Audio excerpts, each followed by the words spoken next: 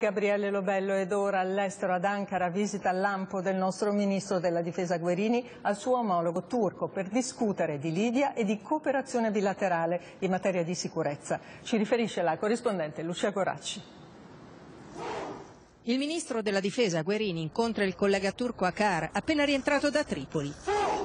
Il momento è cruciale in Libia, dove l'Italia appoggia il governo internazionalmente riconosciuto del premier Serraj, come la Turchia, che però ha mandato al suo fianco combattenti e jet determinanti per il rovesciamento di fronti che vede ora il generale ribelle Haftar assediato a Sirte. Non esiste una soluzione militare alla crisi libica, dichiara il ministro Guerini, né può esistere una Libia divisa.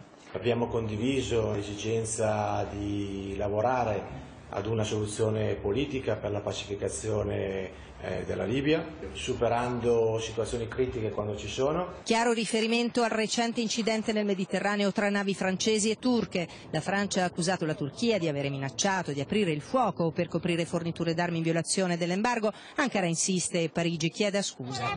Mediterraneo, crocevia di migranti, con la Turchia che gioca le sue carte sull'Europa. 300 tra siriani, iraniani, afghani e somali sono stati intercettati dai guardacoste turchi. Erano ammassati su un cargo, pronti a partire per la Grecia.